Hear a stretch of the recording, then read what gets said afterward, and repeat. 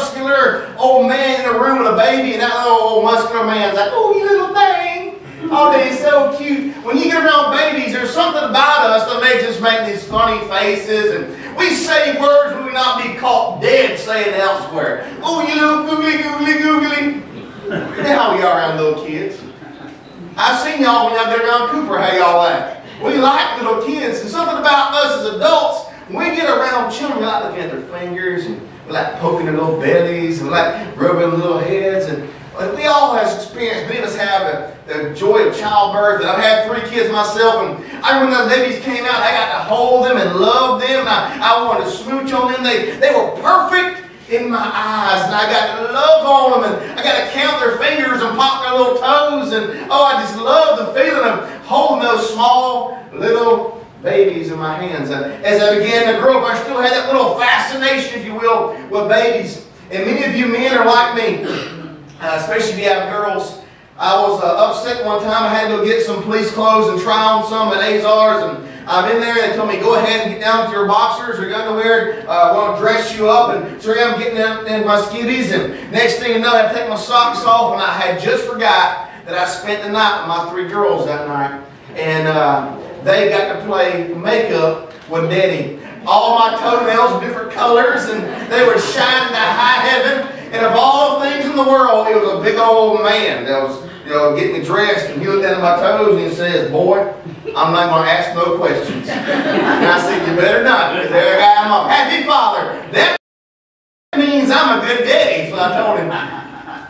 Even worse, one time I, got called early in the morning, I had to wake up for a call, and I woke up and got the uniform on, ready to go, went to the, the, uh, the, the, the Mirror. Mirror, there's the word. to comb my hair real quick. As soon as I got the mirror, I realized I had my fake eyelashes on and still had my makeup all over my face. There's some privileges of having girls having babies in the house. They can do no wrong in our sight.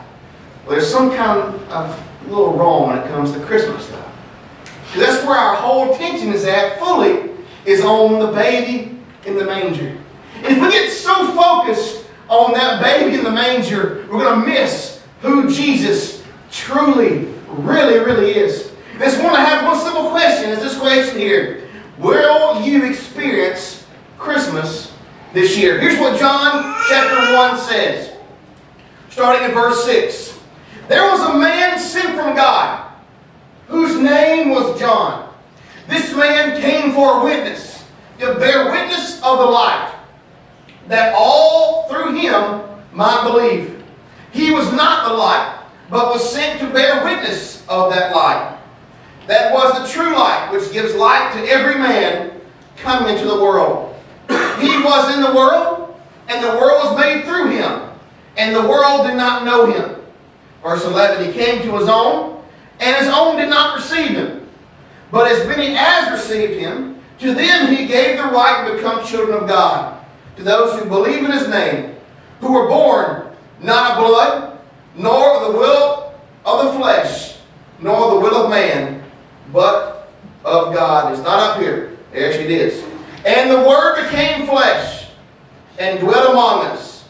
And we beheld his glory, the glory of the only begotten of the Father, full of grace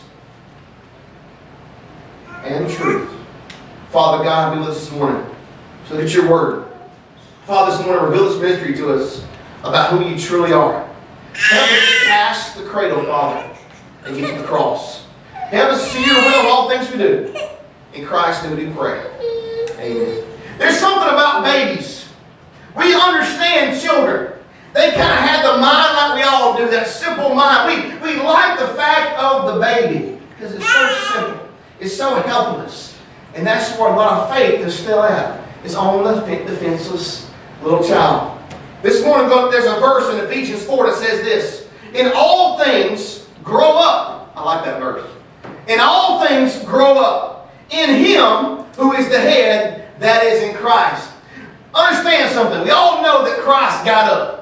We all know that Christ got out of that, uh, out of that manger. Know that Christ raised himself. We know that Christ grew emotionally, grew physically. He became the God that he is or was the God from the cradle to the cross. But he was fully that God. Here's the fact. A lot of people's attention this whole entire season is on that. And when your whole attention is on that, you miss out on who Jesus truly is. Nowhere, we said last Sunday, nowhere in God's Word we ever commanded to keep and honor Christmas. Nowhere we ever commanded to celebrate Christmas. You know, the very first, one, actually going to back up, when the Puritans came over here to America, you know, they didn't have Christmas celebrations. They left the Church of England, and those churches come here for freedom of religion, not to celebrate the way men did. So, for, the, for about the first 200 years, there was no Christmas celebrations. The very first state that actually made Christmas an official holiday, guess what state it was? Wasn't California, wasn't New York. It's the state you're in right now. Alabama in 1830s was the very first state to make Christmas a state holiday. Now it's turned into a national holiday. Even Charles Spurgeon, as late as early 1900s, late 1800s, preached against the Christmas season. How can we as Christians preach about the Christmas season? Because it doesn't matter that much. It does not nearly as matter as much as what happens in the Easter season. Remember who Christ officially is and see what God's Word tells us about this. On your calendars, if you have your calendar, you'll see that there's a date on it. That date is December 25th. You'll know that no matter how hard you press, no matter how hard you try, you cannot stop that day from coming. You ever try to want to stop a day from coming? For many of you, you have to go back to work tomorrow. Praise God, I'm off on weekends now, and I got to go back to work tomorrow on Monday. But something about Mondays we all despise. We just don't want Mondays to come. I see some of y'all's Facebook pages like just begging the Lord not to let Monday get here because you have to go back to work. I see some of those things, but no matter how hard you want it, none of you can stop the 25th from coming. You can try, you can pray. The only way to stop it is the Lord comes back. That's the only way. Now, just because the 25th comes, and just because it says Christmas Day on that calendar, does not mean that every single person will experience Christmas on the 25th. Because here's that old saying. That first part, the world's trying to put a little X in front of and say Xmas. You know you can't have Christmas without the Christ. Now we know our Christ is not just the baby in a manger. My children, they like watching this video. And yes, we watched the one that is the, the edited version, not all the bad words in it. It's a bad show. But it's called, they'll watch a whole lot more, uh, Talladega Nights. You ever seen that movie? And they sit down at the table, they're all sitting there praying, and they said, Dear Lord, baby Jesus. And I had to stop Trinity doing that because Trinity would, in some of her prayers, she'd say, Dear Lord, baby Jesus. I know that's, we're not going to do that. That's almost like a heresy. We're not going to pray like that. We're going to correct our children, train our children the right way to be. So we corrected all that. That video went out the door. We quit watching that kind of stuff. But that's the way many people, they only see Jesus as that helpless, infantile, little being instead of the God and who he is. As the scripture tells us that it's time for us to grow up. Christ grew up. He's no longer in that manger. He's no longer laying in the hay. He has moved on. So we need to do, I wrote these down so I don't forget them. We need to move on from the wonder to the worship. Move on from a story of a baby in the hay to being the salvation laid there. We need to go beyond being charmed by the Christmas story and being changed by it. Go beyond tradition and being transformed. This past week, now, this convicted me this past week. I'm not saying it's a sin by any means. Please don't get me wrong I say this. I was reading a passage this past week in the book of Jeremiah. And it says that about the trees. It says, do not cut down trees, do not decorate those trees, do not put uh, decorations. You don't believe it? Look in Jeremiah chapter 10, verse 1 through 4. You'll see the verse to back my theory up. But it says, do not cut down trees, do not decorate them with gold and silver, do not put them up in your homes, and do not hold them up so they not teeter over. What does it sound like? It says that. Now, now nothing wrong with a tree. Can, you can find the devil in anything, okay? I'm just but the Lord convicted me about that one, and my personal conviction, personal, is I told Jessica, I said, Jessica, read this verse. And she goes, Does that mean our Christmas trees are sinning? I said, no. It does not mean you're sinning by having a Christmas tree in your home. No. I said, let's do something different this year. Let's, I like I like change. Yes, I know it's a bad word among Baptists, but I like change. And I said, I want to try something this year it's all right with you. And she says, well, what is it? I said, let's take down the tree. She goes, no! To be all to put up, let's leave it up. I said, no, no, listen, listen. Let's take down the tree just this year. And what we're going to do is put up a cross instead. And we're going to decorate the cross with lights and put some green around the cross. And that's going to be our Christmas cross this year. And she goes, that, well, well, I've always had a tree at Christmas time. I always had a tree. And I said, that's the tradition of it. I said, nowhere in the Bible you command to have a tree. I said, uh, let's just different this year. Just say, just to set us apart. Because the Bible says we're called to be different. The whole world's got Christmas trees up. Let's be different. So I'm going to be different. And I said, let's have a cross instead. Okay. And all of a sudden, I look over my corner, and she's got another tree up in the house. And she goes, can we just have both? And I said, yeah, we just have both. So you got the tree and got the cross. And uh, that goes back to our tradition. Our tradition says we decorate for Christmas.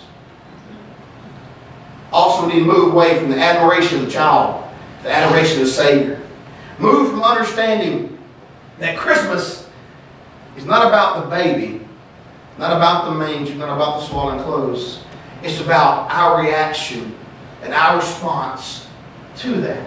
Just we're going to move on past that of truly worshiping the risen Savior, of who that baby in the manger actually grew up to be. So here we are looking at what Scripture tells us this morning. We know that uh, back in the Bible days that as Christ began to mature, as he got up out of that cradle, as he began to mature and be the full Godhead, that he began to be worshipped by all. The Bible says that when he healed somebody, they bowed down and worshiped him.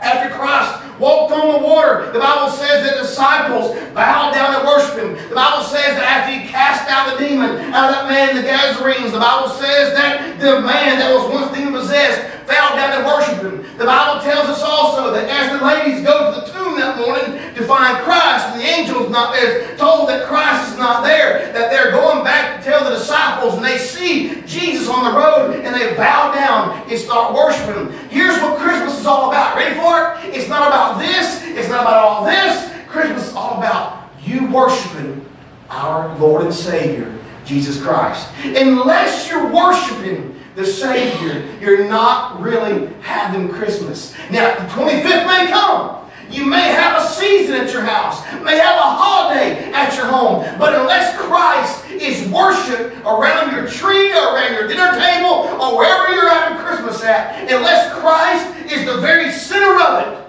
you're not really having Christmas. And a lot of people this year are going to miss out on the true blessing of this holy day because they're not having Christ at the very center of it. Like last time we told you that the innkeepers, all the, the, all the homes all around Bethlehem had no room for the Savior to be born in. It's like many homes today. We don't make any room at all in our homes because all the clutter for the Savior to be welcomed in. So here we are, learning about our wonderful Savior. Trimming traditions, getting back to the truth. Remove this counterfeit Christmas and getting Christ out of the cradle and putting Christ back in our hearts. How can we experience the true Christmas this year? What can we do to truly say we've experienced Christmas? Here's the first one. Experience the cross instead of the cradle. It's great that our Savior is born. I pride myself in knowing that my God came down this earth, was born a virgin. I pride the fact that my Savior had to leave the throne room of heaven and had to leave his the glory and the majesties, leave all the praise and the worship that was up there in heaven to come down here in this old terrible world and be born for us. But him being born did nothing for us. There's no, can't of the right word, but here's what, here's what he did for us. The cradle, he was born, but yet it's the cross that matters for us. Him being born is great. He had to be born. But He died for us so we can be saved. He rose again so we can defeat death down the grave. He took our stripes so we can be healed of sin. We can took our stripes so we can be healed of all the, the pressures of this world. But that doesn't mean anything compared to what the cross means to us. Here's the next one. Experience the king instead of the child. You get around children, how do you usually behave? I mean, I never phrased that question. You as grandparents that are happy your grandparents, how do y'all act around your grandkids? Silly, crazy, just wild. They tuck you out a little bit, you chase them around the yards, and you just, something about the grandkids and the kids, you run after them like crazy. And we treat them like kids. Because they're kids. And that's what people treat Jesus. As though he's still some infantile laying in a manger. I, my Savior is not a baby. My Savior is not some defenseless little child or some toddler. My Savior is a king. And you know what that means about us? We watched this past week's Wednesday night a bunch, of heresies in church. That, that videos y'all saw this past time. Well, one of the, the videos says that that was a heresy was that God, since He is God came together, He created us and we're all gods like He is. Well, that's false. That's heresy. But here is the fact. God, our Father, is the King, makes us all royalty. It means our Father is not some baby. Our Father is a king, owns a thousand cattle on a thousand hills. It just shows us how powerful our king actually is. Here's the next one. Experience the powerful instead of the powerless. We know that babies have a lot of strength in their voice, don't we? You don't believe me? Could probably baby here in a minute. If they're hollering, you'll experience the power in the baby's voice. Something about a screaming child makes us all stay up at night, don't it? Remember when you had your first child, the baby had that little tummy ache? Nobody ever had ache growing up? Nobody ever came out mine was just spoiled rotten that drank too much sour milk and decided to come back up 1 o'clock in the morning and poor little tummy was aching and they went to hollering. Can we all say there was no sleep in the house that night? You want to hold the baby, you rock the baby, you're holding it, just please stop. There's a lot of power in that voice. But to a degree, that baby's very powerless. It, everything it has to do, it depends on us to do it. We got to feed it. We got to change it. We got to take care of it. We clothe it. We are in full control of that child. And that's the way many people want to see Jesus, is that still that defenseless, helpless child that we're in control of. That's not my Savior. The Bible says, my God is all powerful. The verse to back it up says this. And Jesus spoke unto them, saying, All authority has been given to me in heaven and on earth. In other words, when it says all authority, it means all power over all things has been given to our Lord and Savior. It means we can't control Him. We can't limit Him. We can't hold Him back because He is all powerful. Here's the next one. When He experienced the empty grave instead of the full stable. Now, the Bible does not say there was animals around the stable. Were there animals? Probably. I wouldn't doubt it. There usually is animals on a farm. I would not doubt that. But it doesn't say. We know there was Mary, there was Joseph, and there was baby Jesus. Do know that there were shepherds that did come from the fields that night. They came to see baby Jesus. So we do know that the stable, the cave, if you will, was full that night to a degree. But we need to move past that a little bit. It says here in Matthew 28, He is not here. He is risen, just as He has said. Come and see the place He was lying. See, we, that stable was completely full. But that morning, on that Easter Sunday morning, right early in the morning, all the women went to the tomb. And the only person they found there was an angel. And the angel says that the Savior is not here. You see, that means more to me as a believer than this does. Knowing that my Savior was born is great. I can celebrate that fact, rejoice in that fact. But it means more to me knowing that that grave is now empty. That means that my Savior defeated death for me, knowing that He defeated hell for me, knowing that I don't have to go there and I can believe in Him and be saved. Here's the next one.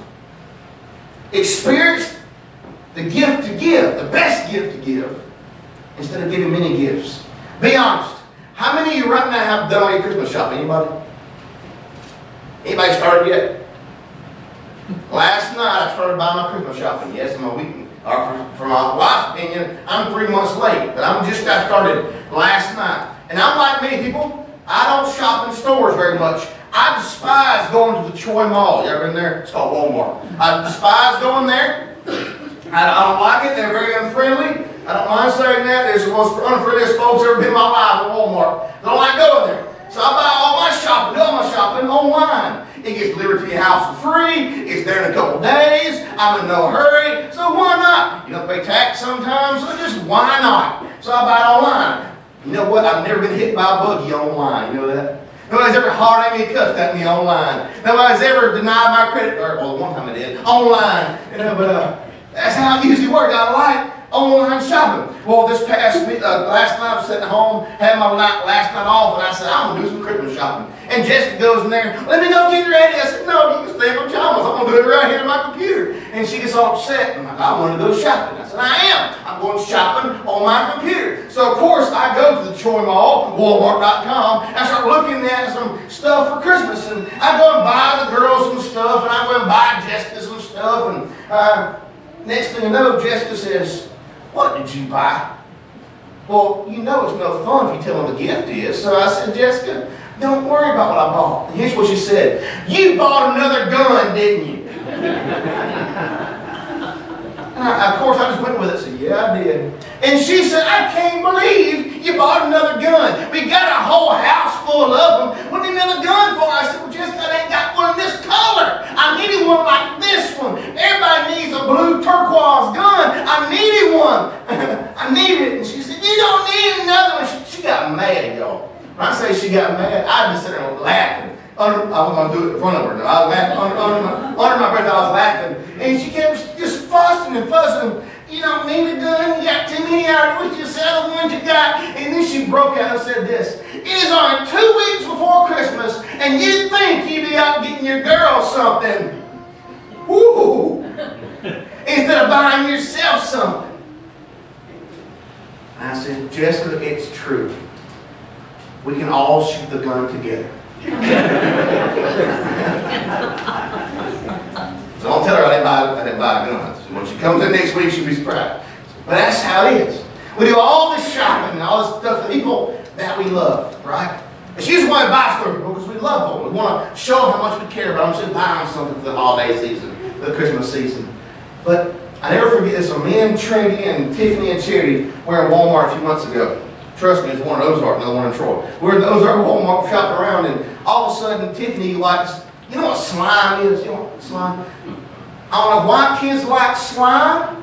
I don't have a clue, but if you know what slime is, just pick your nose, and there it is. That's, that's, that's about, that's about the, the consistency. They like playing with slime and having all over the carpet, and all and in the car. It's slime everywhere. Like little ghosts. You watch Ghost, uh, Ghost, Ghost, Ghost, Ghostbusters back in the day with slime everywhere. They love that stuff. They watch videos on YouTube about slime. I don't know why. But we're at Walmart in Ozark. And Charity and Kimmy come to me and said, Daddy, can you please buy some slime? And I said, baby, we don't need no more of that junk. They said, well, can you get it for me for Christmas? And I said, I guess I'll buy you some slime for Christmas. I said, what are you going to get me? And they said, Daddy, it's not your birthday. and I said, it's not your birthday either. Why do you want slime? But isn't that kind of true, though? This Christmas season is not about us. It's about Him. It's His birthday celebration. Here's the question for it. We're giving all these gifts to each other and all these gifts to all those we love, but are we truly giving the gift to the one that we truly supposed to love the most? Is our home or truly a gift He's welcoming to? What are you truly giving Him as the greatest gift? Well, the Bible tells us what He wants. Here's what all, here's all He wants for Christmas. And that is two front teeth. Romans 12 says this. Therefore I urge you, brethren, by the mercies of God, to present your bodies a living and holy sacrifice, acceptable to God, your spiritual service of worship. You know what He wants? Who knows? He wants this. He wants us. He wants our devotion. He wants our worship. Here's the next one. Experience the rebirth instead of the birth. Yes, it's great to celebrate Christmas. You know the most important day for a Christian? The day you should never forget? The 25th doesn't matter. We know exact day Christ is born on, but one day you should never forget is the day you were reborn. Scripture tells us this. Truly, truly, I say to you, unless one is born of water and the Spirit, he cannot see the kingdom of heaven. There must come a time in our life that we know we're a sinner. We must confess our sin and must be reborn, must be born again of God. Here's the next one. Cry out, Coop. Experience the city of heaven instead of the town of Bethlehem. Scripture tells us Philippians, for our citizenship is in heaven, from which we also eagerly wait for our Savior, the Lord of the earth. Going to always sing songs about Bethlehem right now. We're singing all about the Christmas season and Christ born in the manger. But all that's worldly. All that that's of this world. It's great to think of our home and our house, and all, but all this stuff is worldly. Our mind should be set on one thing, one thing only, of where our citizenship actually lies. I'll never forget, I told one time that I'm so heavenly minded, I'm no earthly good. Hurt my feelings one time when somebody told me that, but I'm glad the fact that my mind is on heaven.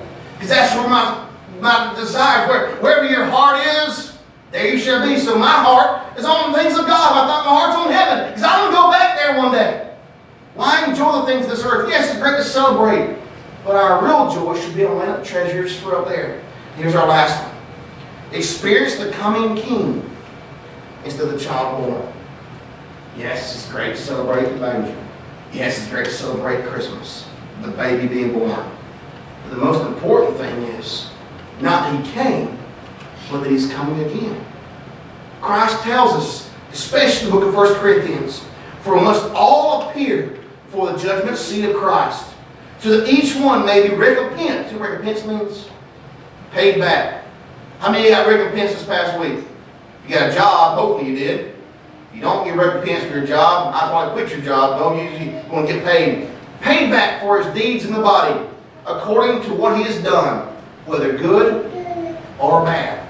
In word Scripture tells us this, that one day, we're all going to appear before not a manger, appear before a throne. And there our kings will sit upon that throne. And guess what he's going to do to us? He's going to judge us based on what we've done wrong and what we've done right. Now, it's not saying he's going to judge us based upon our sin because we know that our sin's been forgiven. But he's going to judge us based on what we've done with Christ since we've had him. I mean, truly grew in the faith. We got stronger in our faith. Have we treated Christ like an infant or treated Christ like the king? Christ is coming. It's the child born. We're going to pray this morning. It's me our prayer. Now, our prayer is this. That as we go throughout the rest of the season, let's focus on this with the mentality of the cross. There's a picture you seen a minute ago. And uh, we'll look at it in a few minutes after we go to the service. But there's going to be a picture of we recorded when Trinity was a small child.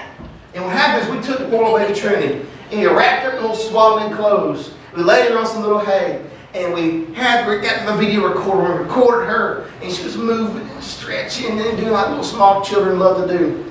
But behind all that was the silhouette of a cross. All that's important. But none of that matters unless the cross is in view. Just Christ and Christ was born didn't save us. His cross is what saved us. This is just the fact that he did was born. And we're going to take part in a new part of the service, our Lord's Supper. And this is the part we're commanded to celebrate. This is what we're commanded to take part in and to remember. It's the fact that our Savior, yes, was born, but more importantly, the sacrifice he had. That he shed his blood for our sins. He took the punishment that we should have had, all because he loves us. So what is one stand real quick? Let's all pray this prayer that we'll truly experience Christmas this year. You need to come to the altar and pray or confess your known sins before you take part in the Lord's Supper. I invite you to do it now. Let's go ahead and pray. Father God, I do love you.